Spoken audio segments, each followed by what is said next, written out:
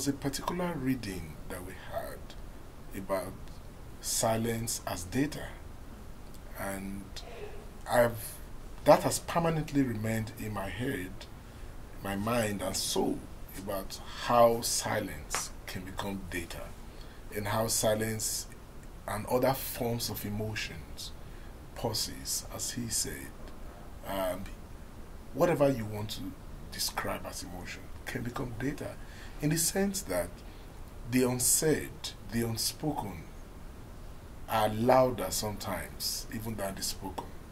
And that is what poetry also gets to help us do. And as someone who is interested in poetics, in the poetics of migration, and poetics as a form of telling stories, that is something we often deal with. The very many things that we pack into words, into few words to express an experience. So, absolutely, that's a strong question that you've asked, and it, it has it's getting us to even think even deeper about how we can be more attentive to the emotions or emotional components of our research, emotional dimensions for emotions, and not necessarily um, emotion as trauma, but emotion as you know cheerfulness, emotion as joy, emotion as you know celebration, emotion as triumph. So it's a pretty much trial and triumph kind of emotion for me. So yeah, that's that's something we can we can, as Becca said, we can be more attentive to. But yes, from the workshop, the creative expression workshop, that got us to be very much attentive to it because I, as we were talking about Dr. Boden's and Michael's presentation, that was packed with emotions you know, connecting with one's grandmother and the kind of and their lived experiences, you know, had those, you know, are coded in, you know, in art. Um, ordinarily, you don't expect people in quants and stats and statistics and quantitative to think creatively. You want them to just go figures and, and you know, numbers, you know, and all of those boring things, you know, around quantitative. You know, I'm sorry to say that. Um, but they were able to make us see that you may be doing science, you may be doing social sciences and statistics, but you can incorporate, you know, the art and creative processes into it. But emotions are very, like, they can be very abstract, and I'd suggest that they are abstract.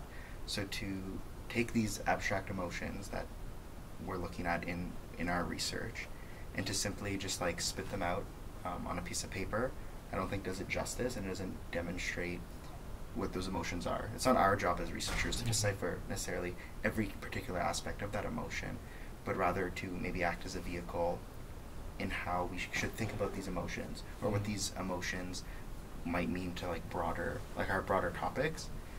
So I think like like creatively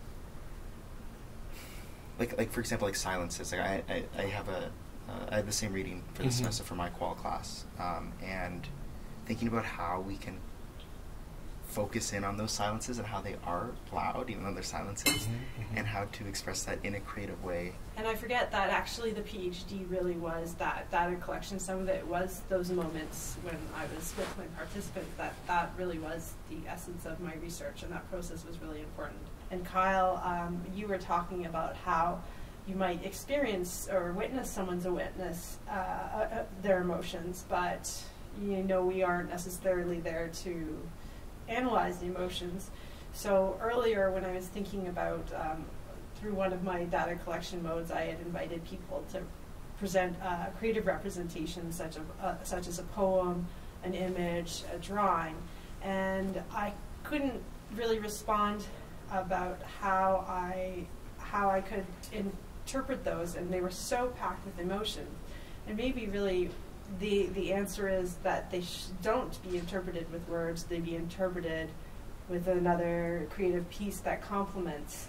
In my case, I'm saying complements my dissertation because at, at the moment I don't have a way a way to capture or convey all the emotions that I did get to gather. Language can be so helpful and at the same time so um, so frustrating to convey certain things. Um, yeah, it's as Becca said, it's very difficult to be able to really do justice to uh, creative um, piece, data pieces. Um, yeah, but again, um, I oftentimes also agree with Barthes. You know, Barthes who said that when when a writer writes, they die. You know, a writer dies after they write. It is you, the one using what they have written, that takes it up upon yourself to you know analyze, to to decode, to make meaning of it. You know, so sometimes even when somebody has given you their art piece or their poem or their whatever, they, they don't even see the things you would see. You know, it's, yeah, so it's a huge burden. You know, the burden of analysis is on the researcher, you know, most times to make sense, to, how, to put on their thinking cap, you know, their thinking uh, uh, cap to be able to see, you know, what that person is saying. So that is why I think that creative expression or art based methodology is so underrated. It's so underrated, you know, because I don't know why it's probably underrated because it's not the objective, science, scientific kind of research, but it is packed with a lot of things, you know, that the workshop got us to realize, got us to understand, you know, the researcher is struggling, is dealing with, struggling in a positive way, you know, trying to make sense of what the participants have said or are saying, you know, trying to bring out a narrative from, from these, you know.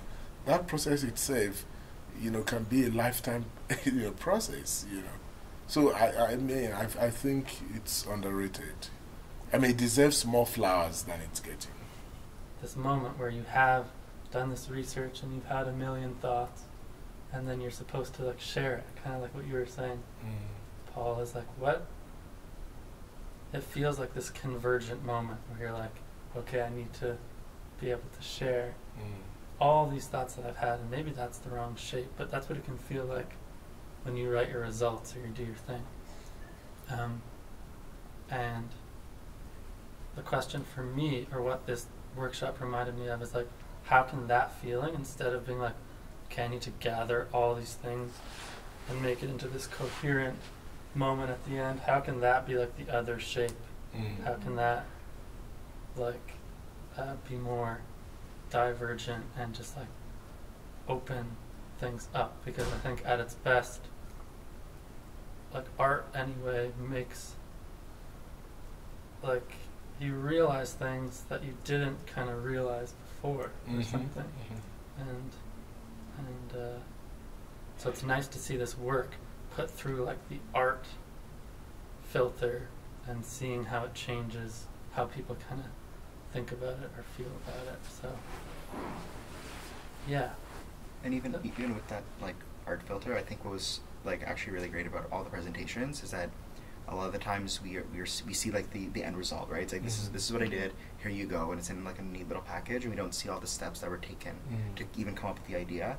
So to hear everybody like speak about um, why and how they integrated this uh, creative element mm-hmm. into it allowed me to better understand the research more generally, because um. I got all that that, that backstory. Uh, there is this phobia that comes with research findings about I mean, phobia, the phobia that comes with thinking about how boring it might be, especially if you're looking at a thesis of 300 pages, 400 pages, as, as I'm sure that um, as supervisors and examiners, sometimes I wonder how they how they cope. Sometimes, you know, but I'm I'm here saying that that's what the workshop, you know, unveils is how it, the, the the process can be interesting you know, how the process can be, as he said, accessible. You know that a toy for like kids where it'll be like a bucket and they have all these shapes and they gotta like fit it into it. Now, sometimes if this toy is poorly made, the shapes fit into the wrong the, the wrong thing, and it, it's, it's it still works out. And right, like I've seen, like I have a, I have a younger cousin who, who plays with this, and I I see it. I said, no, it's supposed to go into into this mm. one. It fits. I'm like, no, like you know why? I was like, I don't know. That, that's just what that made me yeah. think of, like forcing mm. things to fit so perfectly, and it doesn't always have to be that way and it shouldn't because sometimes it's that's not yeah it's not meant to be that way. Um, for me, um, who wasn't doing an arts-based dissertation, uh, my first thought was it takes away the joy, and I think that's because I had just been telling the story of how when I got to the point in my data collection at the interview when I was going to introduce this journal activity, it was a, a moment of joy when I was asking the police officer to write poetry or the emergency operator. I, am using these as you know, stereotypes of those occupations, not the actual people I was Mhm, with. mhm, mhm. But it was disrupting, and because we had a relationship from the interview, it, it was joy. So for me, it definitely would have removed that joy thread and that beautiful layer of um, meaning and that wonderful richness of connection. Earlier, I had said that the journal activity had led to me feeling even more connected uh, with my participants because they had been sharing what I thought was, were more intimate details, or they were trying to express themselves through different ways, which brought its own intimacy out of it.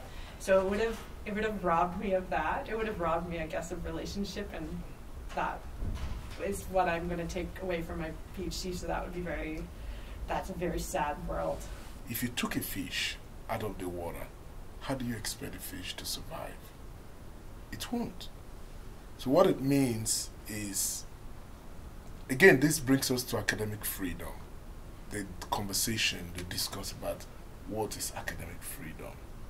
And I like the book Hawthorn Archives. And the reason I like that book so much is because Avery Gordon tried to make us realize how we can deconstruct academic writing, how we can accommodate reduction, deletion, imposition, all kinds of style in academic writing. And academic writing for ages, I would say, has been inaccessible.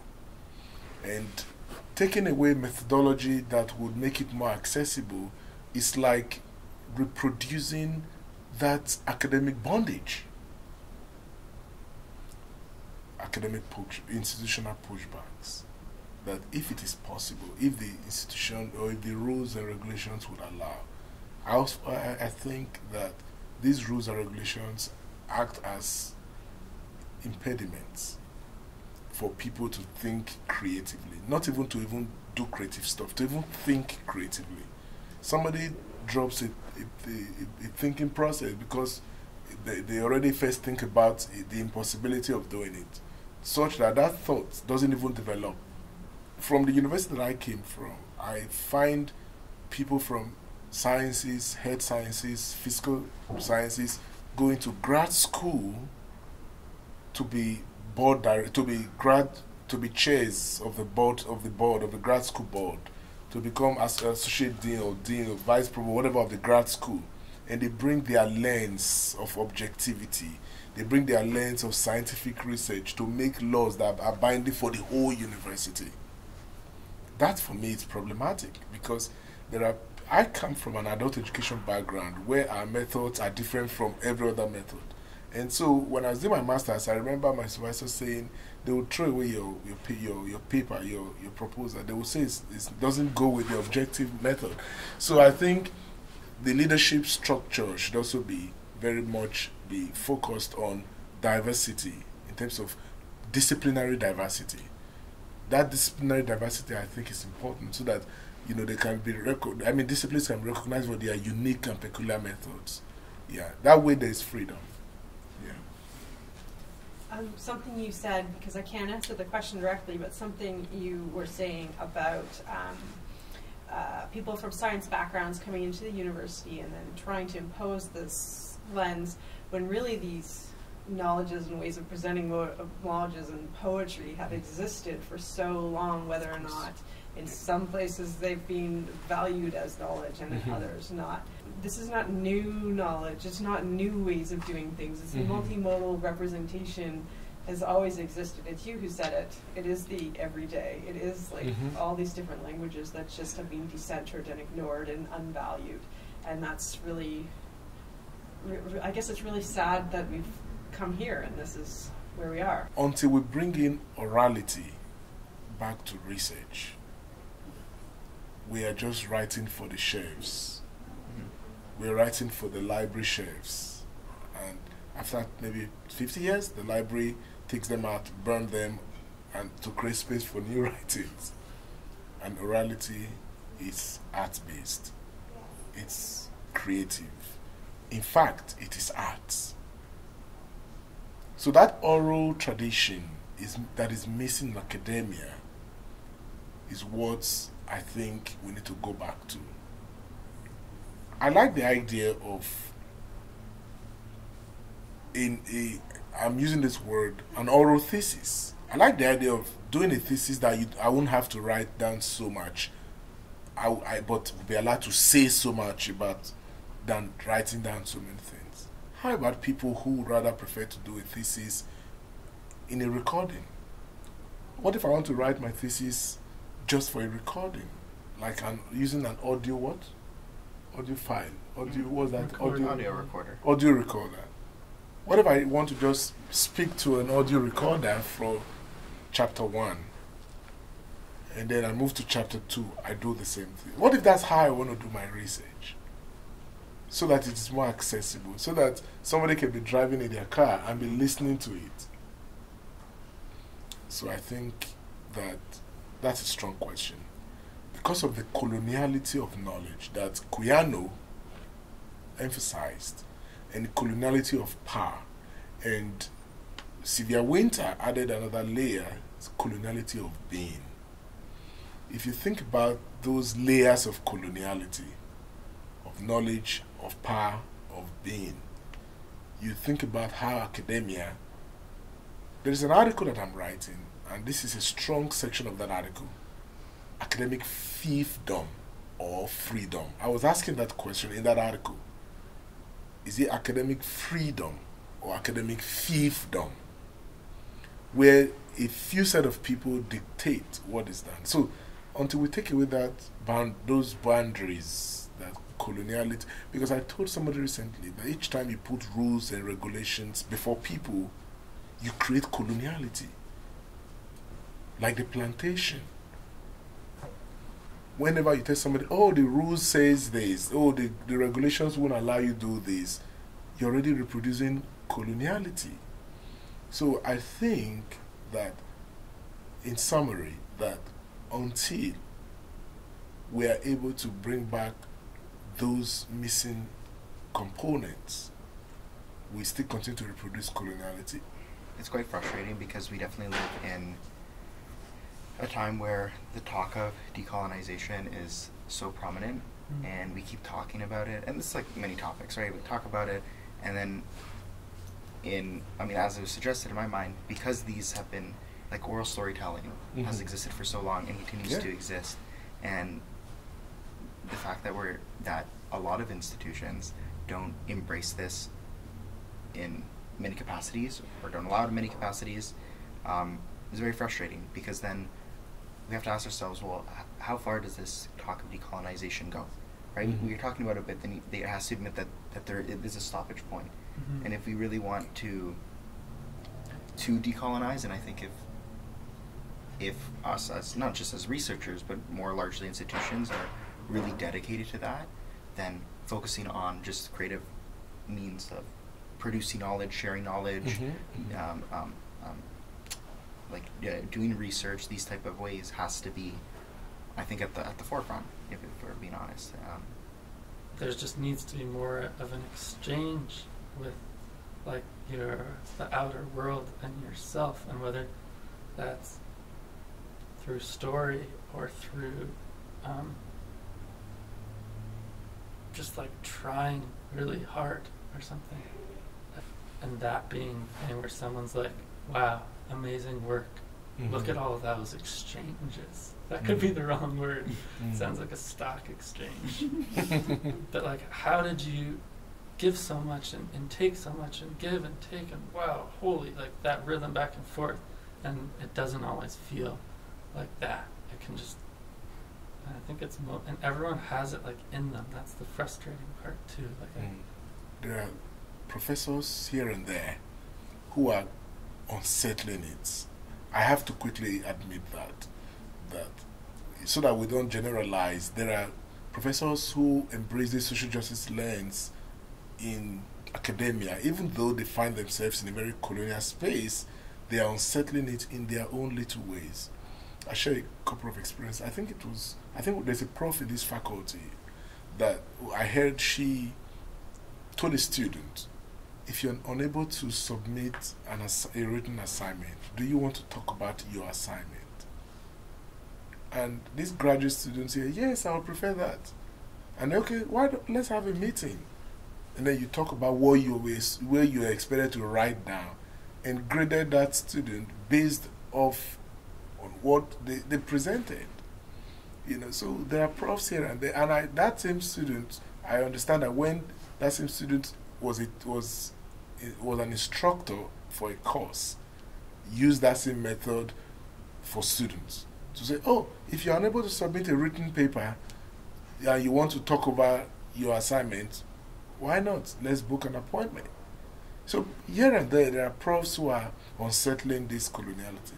But as we all know, coloniality has a stronghold. And such that if one person is doing the right thing and is unsettling it, it's like a drop in the ocean. It's not visible on, because of structures. You know, the structures of power, they're very strong, they're very imposing, they're very domineering. You know. So yes, but of, of course there are profs here who are unsettling it.